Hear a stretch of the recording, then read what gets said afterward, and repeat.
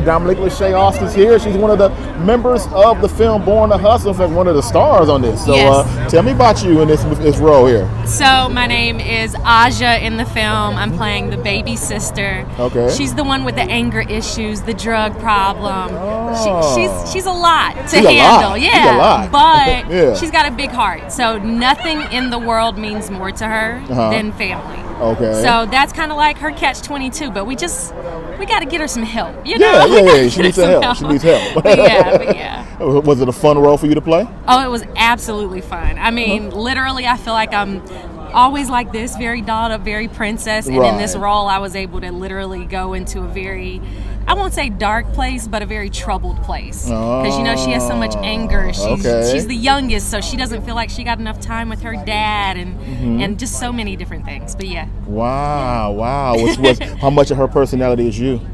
Um, I feel like maybe like the old me because I, I grew Yeah. up in Section 8 housing. Okay, So it's okay, like okay, coming okay. from that, and then I was able to move in with my grandparents. So I feel like if I had stayed where I was, Right. I would have been I would have been the like modern day Aja probably. Oh, but Oh, okay. yeah, yeah. So thank you to my grandparents. Very good, Yeah. very good. Well, you know what? Much success to you, and, and congratulations on the Born to Hustle film today. Thank you, And enjoy yourself. Yeah. I'm Dominique Leshay Alston, and listen to the radio show.